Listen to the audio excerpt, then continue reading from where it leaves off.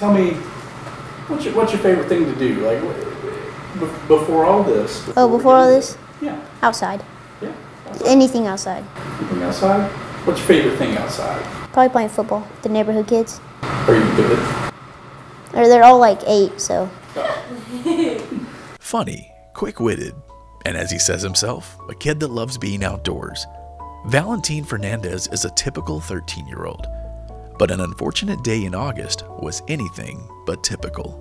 So we were at the house, and then I remembered I had to, had to go do a job that day.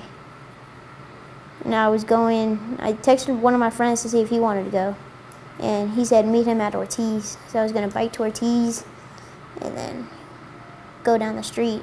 So I went, and then I was going down the street. As I was going down the street, these two dogs just come out of nowhere start chasing me. He was on his bicycle being chased by a dog. In a car, he w- went in front of a car and a car hit him. And then he got flipped up and hit by a second car. I open my eyes, and then I'm rolling on the floor. So I, I'm thinking, what just happened? And then I open up my eyes one more time, and everyone's around me, and asking me if I'm okay, telling me not to get up, don't move. And then I could hear a lady in the background calling. I don't know who she was calling, but probably 911. He was brought to the emergency room where he underwent a standard trauma workup. He had multiple injuries.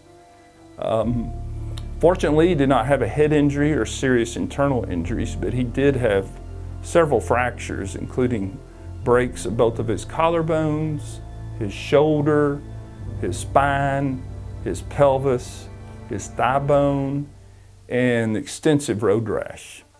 I passed out in the ambulance. And whenever I woke up, I was in the room I waited in for surgery.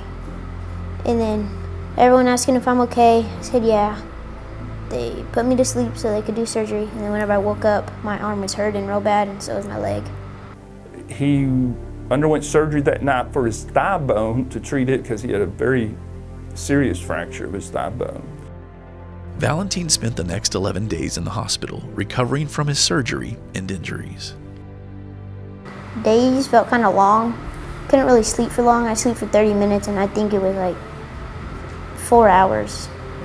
So I would stay up at night. Couldn't sleep at all. I was in pain at night. During his stay, the staff at Hendrick made sure he was as comfortable as possible. So, kind of my role in the hospital is to be an extra advocate for kids and for families, knowing that hospital is not the most fun place to be. It was a lot of emotional processing as well as just physically trying to um, gain an understanding of, of everything in his body that was kind of hurt um, or broken or um, things that were giving him pain. His hospital time came and went, but the real work was just beginning. Initially, he had to use a wheelchair for several weeks until some of his fractures healed.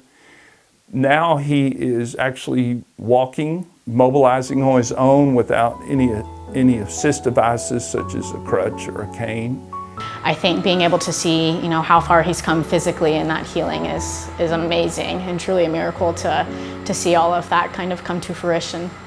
Fortunately, the expertise that we had at Hendrick Medical Center was more than capable of taking care of Valentin and his injuries. Uh, we have a complete floor dedicated to pediatric patients with pediatric nurses, and this is where he received all of his care. He has also received his wound care and outpatient physical therapy through the services provided by Hendrick. I think being able to keep families here um, and provide the care that they actually need is, is huge. Valentin has come a long way, and the services he needed to do that are located right here in Abilene thanks to generous donations to Hendrick Children's Hospital from people in our community.